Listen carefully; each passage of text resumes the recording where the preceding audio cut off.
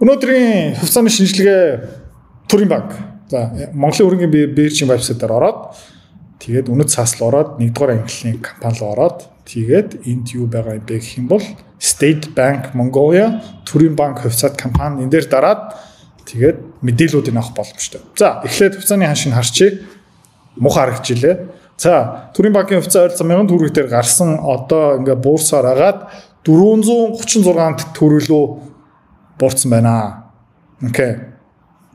Тэгээ хэдүүлээ ийшээ илүү наривчлаад орчих. Үгүй худлаа ирсэн байна. 678 төгрөгтэй гарсан байна. 1000 төгрөг рүү пуужинсан. Тэгээд тэрнээс хойш буцаагаад 403 30 унсан. За 600 эд дээр гарсан одоо 400 хэдлээ буурснаа гэдэг чинь бараг 30%-аар ерөөхдөө буурцмаа гэсэн үг. Тэгээд IPO-г ин авъя гэсэн хүмүүс тий одоо хувьцаа маань 30% хямдарсан гэсэн үг шүү дээ. Тэгтээ авах ёстой мó үгүй мó хэдүүлээ одоо харчээ. За компани нийт үнэлгээ одоо 366 тэрбум болсон. Төрийн банк бол 755 тэрбум ширхэг хувьцаа гаргасан. Ерөнхийдөө 366 тэрбумын үнэтэй талах гэсэн үг гэж төсөөлж болно. За тэр талхаа одоо хэдэн зүсэн болгоцсон бэ гэх юм бол 700 а 755 сая зүсэн болгоцсон байгаа. Тэгээ нэг зүсэн 436 төгрөгтэй одоо байна. Окей. Тэгээ одоо санхүүгийн мэдээлэл орчин хэдүүлээ. Хүүгийн орлого 232 тэрбумтай байсан байна. Хүүгийн зарлага одоо би энд явж байгаа шүү.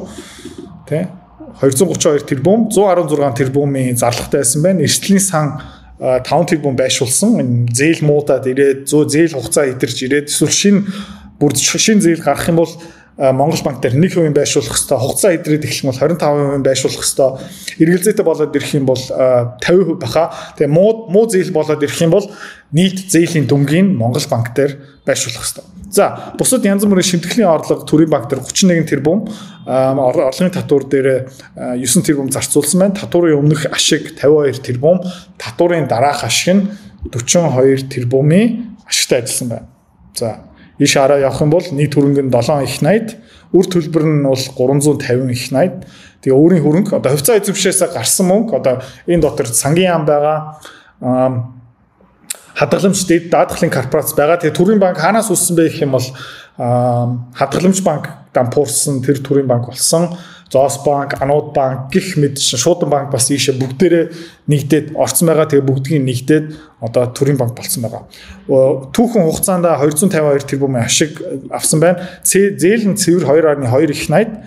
Тэгээ тэрнээсээ чанаргүй зээл нь 225 тэрбум төгрөг юм байна. Чанаргүй зээл нэлээд өндөр байгаа. Одоо та өчигдрийн видео харсан бол эсвэл өмнөх өдрийн өмнөх өдрүүдийн видео харсан бол хасмагтай харьцуулах бол хамаагүй өндөр чанаргүй зээлтэй байна. 10% чанаргүй зээл гэдэг чинь бас ер нь бол эрсдэлтэй энэ бүх зээлүүд нь ерөөхдөө дампуурчих юм бол алга болчих юм бол тэ энэ хоригдлогдсон ашиг байхгүй. Ерөнхийдөө банк маань капиталгүй хөрөнгөхгүй, өөрийн хөрөнгөхгүй дампуурч гэсэн үг тийм. Ер нь бол энэ зээлүүдээ ерөнхийдөө араас нь яваад хурдан барагдуулах хэвээр. За тэгвэл бас ингээд э, зээлийн эрсдлийн сан байршуулсан. Харилцаа станцнда 1 их 80 төгрөгтэй хадгаламж дотор 1.9 тэрбум төгрөгийн хөрөнгөтэй. Тэгээд төрийн банк хүмүүс мөнгө байршуулах дуртай. Яагаад вэ гэх юм бол төр цаанаа байгаа учраас тийм. За одоо ашигтай ажиллагаа санхүүгийн харьцаанууд л орчий. Энэ хамгийн чухал үзүүлэлт хувь эзэмшигч нарын оруулсан хөрөнгийг хэр өгөөчтэй ашиглаж чадсан бэ? За өнгөрсөн хагас жилийн хугацаанд 2023 оны 1 сараас 1 сарын 1-ээс 6 сарын 30 хүртэл Төрийн банк хувьцаа эзэмшигч хувьцаа эзэмшигч нарын мөнгийг 8.4 хувиар өсгөж чадсан.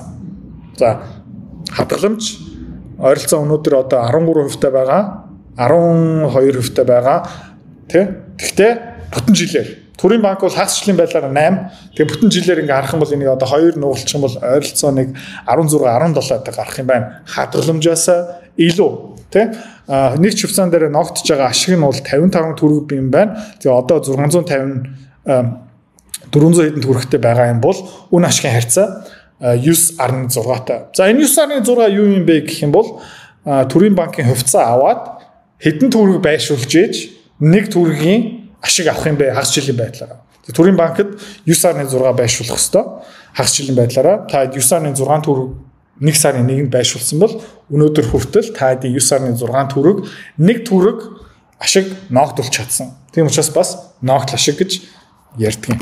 За сайн уу муу юу гэх юм бол жоохон үнэтэй байна.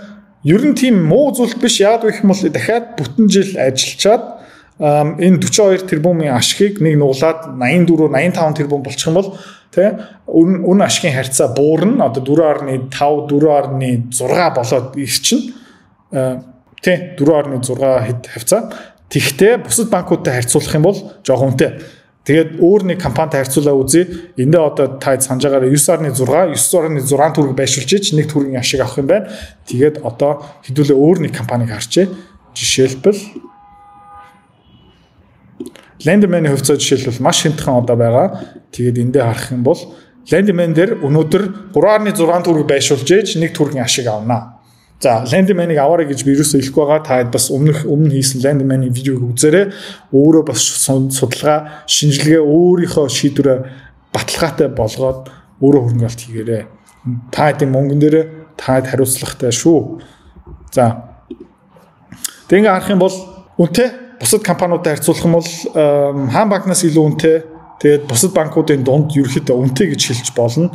А тэгээд ягаад төрийн банкын хувьцаа би өөрөө хувьдаа авахгүй байгаа юм бэ гэвэл тэ энэс болж байгаа. Сангийн яам 49%, хадгаламж даатгалын корпорац 45%. Ам үер болсон авилгал хороол, газар олголт, яамнууд, манай засгийн газар ямар бузар авилгаар идүүлсэн байгаа юм бэ та бүгд мэдж байгаа.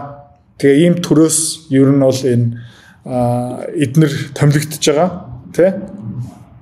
Тэгээд миний мэдхээр хамгийн олон захиралтай банк бол Төрийн банк гих мэтчлэн ерөөхдөө энийг та өөрийнхөө бизнесээ улстай хамт удирдах уу тий ямар нэгэн яам агентийг хувьцаа эзэмших болох уу тийм Монгол засгийн газар хүншил дотор хамт оруулах уу гэх юм бол үгүй бах. Тэгээ би энэ дээр яг адилхан ер нь бол дийлэх төрийн компаниуд алтгалтай ажилдаг. Тэгээд хизээ нэгэн цагт төрийн банкны ээлж ирэх магадлалтай.